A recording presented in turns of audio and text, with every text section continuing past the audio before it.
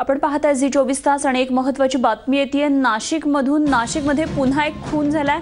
तोरंगण घाटामध्ये वैभव परदेशी नावाच्या तरुणाचा मृतदेह सापडलाय. अशोक स्तंभ परिसरामध्ये हा तरुण राहत होता.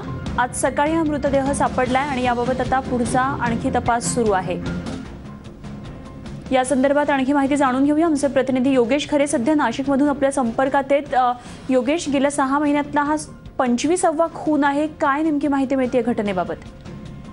खरं आहे अनुपमा नाशिक शहरामध्ये गुन्हेगारी मोठ्या प्रमाणात वाढलेली आहे. आता गुन्हेगारांनी एक नवीन मोडस ऑपरेंडी सुरू केली आतापर्यंत जे खून झाले त्यांचे सगळे मृतदेह जे होते ते नाशिक शहरातच मिळाले. मात्र या म, ज्या परदेशीचा खून करण्यात आलेला आहे त्याची बॉडी ही नाशिक शहरामध्ये खून करून ग्रामीण हत्तीमध्ये टाकण्यात आली आहे. एका घाटामध्ये फेकून देण्यात आली.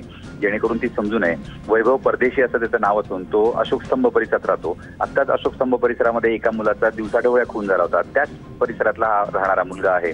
त्यामुळे एकूणच गुंडांच्या टोळीच्या वादातून हा गुन्हा हा खून झाला असावा असं म्हटलं जात आहे विशेष म्हणजे या मृतदेहावर अनेक सूर्यांचे वार दिसत आहेत. त्यामुळे भाईगिरीतून किंवा गुंडांनीच त्याचा खून केला असावा आणि नंतर उचलून त्याला तुरुंगण टाकला असावं असा प्राथमिक पोलिसांचा कयास आहे एकंदरीतच अशा खरं तर घटनांमुळे नाशिक पोलिसांसमोरची आव्हानं आता वाढत चालली आहेत. धन्यवाद योगेश दिलेल्या सगळ्या सविस्तर माहितीविषयी.